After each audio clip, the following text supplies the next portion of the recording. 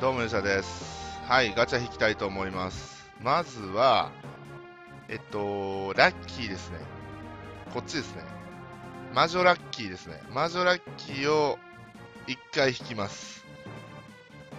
はい、1回限定か。1回。はい。あの、微妙に持ってるんですよ。魔女は。実は魔女は結構充実してて、的や超絶、イデア超絶、シャントと超絶持ってるんですよ。実は。はい。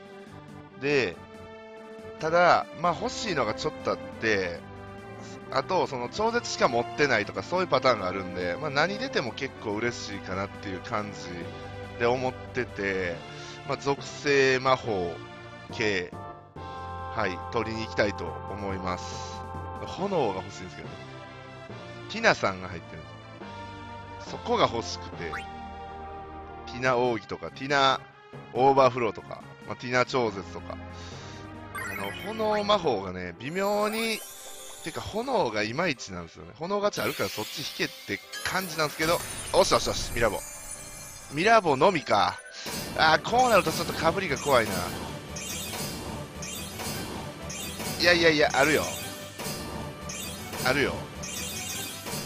ミラボのみ。数欲しかったっすけどね。ほっお前お前まさか、お前の顔知ってるな。いや、かぶりじゃないんですけど、ここか。かぶってはいないですけど、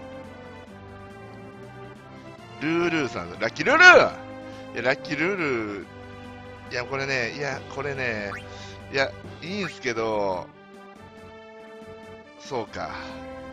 そうっすね。えー、そうっすね。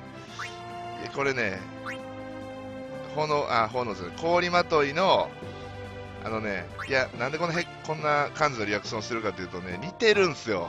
あの、イデアとか、まあ、リノアもそうですかね、もう氷の超絶は、魔法も、まあ、氷は割と揃ってて、そんないらない。まあまあまあまあまあ、天、天、天でなんか来た時に使うやわな。